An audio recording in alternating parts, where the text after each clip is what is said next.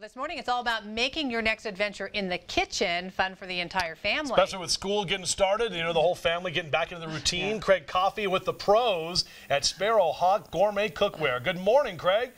Good morning, guys. That is right. I tell you what, if you have someone that loves to cook, you know someone that's great in the kitchen, or someone that might be a, a professional chef, now we're talking some good stuff for you. With us right now is Christine here at Sparrowhawk, and let's talk about these knives. Now, I'm no pro, Christine, but I'm just gonna I'm just taking a shot in the dark. This is not something you leave alone with the kids in the playroom while you go and watch your soap opera. Definitely not. No.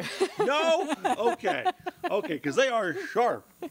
Yes, they are. They're a really high quality knife. They're pure stainless steel, and there's a lot of hand finishing on these knives.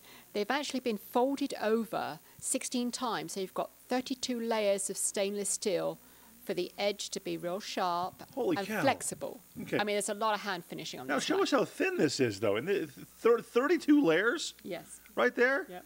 Okay. It's, it's, beautiful crafted. It's where they actually, in Japan, where they make the samurai swords. So they've had centuries of experience. Wow. Okay. So what knives. makes these knives so good, so special? Okay. Well, they have a lifetime warranty.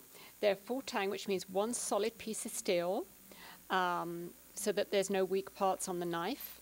They well balanced. They fit in your hand nice. Um, the professionals love these. You've got your chef's knife here.